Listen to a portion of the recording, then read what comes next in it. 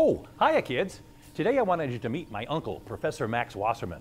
Besides my dad, Uncle Max taught me everything I know about water and how to save it. He should be here by now. Let me just take a moment and try to find him. Uncle Max? Uncle Max? Uncle Max! Oh, hiya, kids.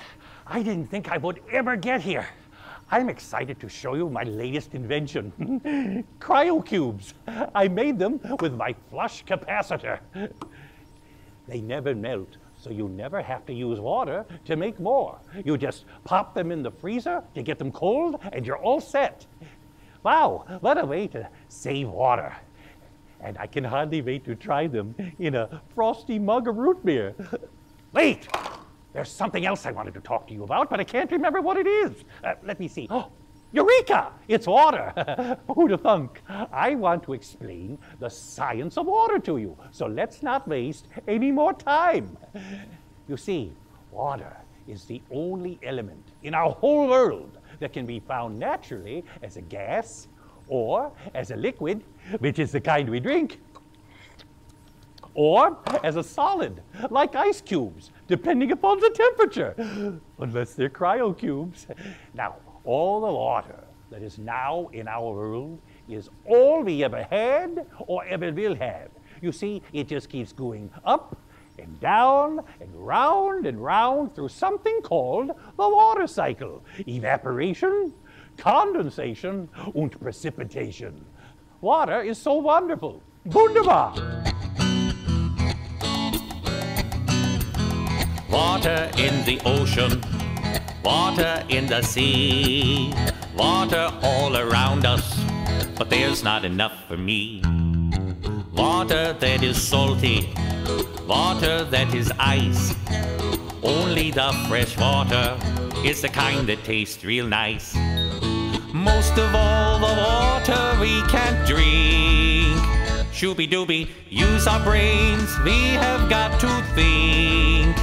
Yappy dabby, frozen or salty is not good. Boo hoo! Take care of the water is what we should do. Water in the ocean, water in the sea, water all around us, but there's not enough for me. Water that is salty, water that is ice. Only the fresh water whoo, is the kind that tastes real nice. Everywhere you look, the water's there. Shooby dooby in the lakes and oceans in the air. Yappy dabby, so if you're an ice cube or a fish, more, more, you'll have all the water you can wish for. For water in the ocean water in the sea, water all around us, but there's not enough for me. Water that is salty, water that is ice. Only the fresh water is the kind that tastes real nice. Oh, but you thought that class was over? Oh no! Now it's time for the motorcycle. Here's a water cycle there the water goes. Then the water dries up, or when it rains or snows. It starts down in a river, or maybe in a lake. Then it starts to rising as a vapor, for goodness sake. Then the water goes up to the sky. Evaporation, then it forms as a cloud so high condensation, then it falls as rain on the ground. Precipitation, and the cycle goes round and round.